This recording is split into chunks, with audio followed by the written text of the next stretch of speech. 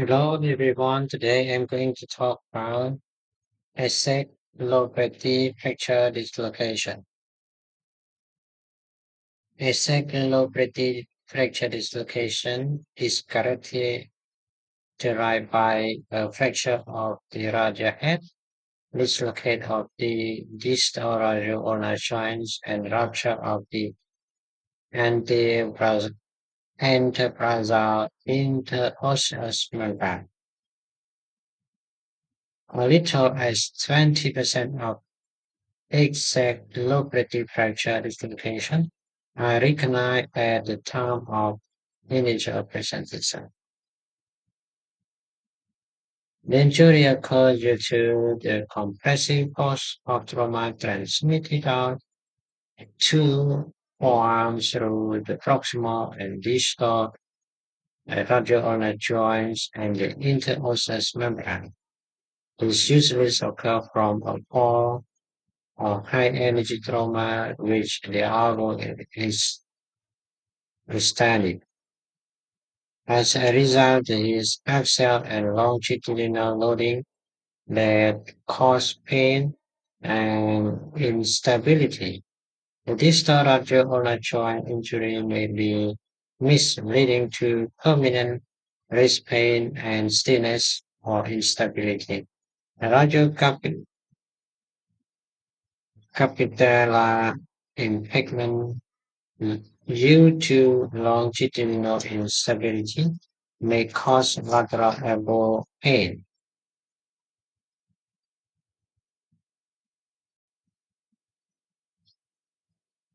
The ASIC type classification of the acyclovir fracture dislocation. Type 1 is blind equipment. Type 2 comminuted. Type 3 chronic injury with proximal migration, migration of the radial head. Fatality rupture of the interosseous membrane result in pursuit transmission of the force from the the ulna.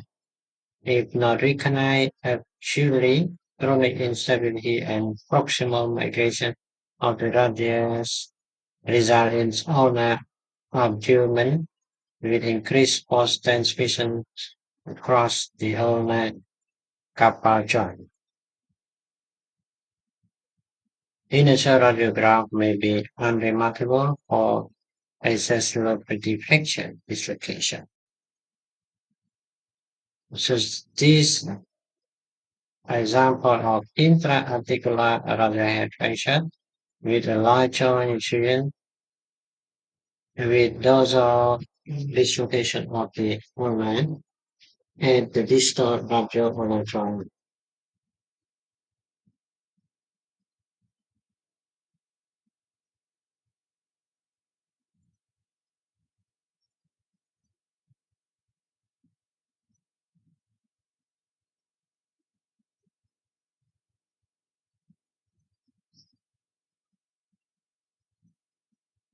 Another example, they begin to transfer and undisplaced fractures through the radial head, the radial neck, no visible elbow fusion, maldorsal inclination, uh, of the distal ulna,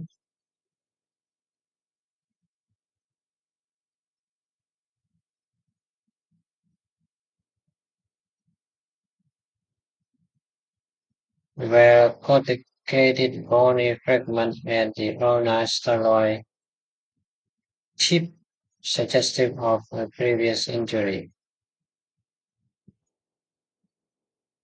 Another example, the lateral rejection demonstrates also subluxation of the distal ulnar at the distal radioulnar joint.